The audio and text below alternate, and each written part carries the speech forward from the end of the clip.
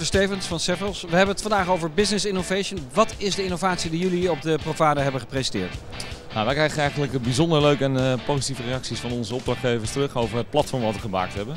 En dat is eh, zuidasoffices.amsterdam. Dat is eigenlijk een online platform waar je alles over de Zuidas kan vinden. Zowel kantoren, maar ook restaurants, actuele treintijden, uh, alle bedrijven die er zitten. Het is eigenlijk one platform voor alles wat je wil zoeken op de Zuidas.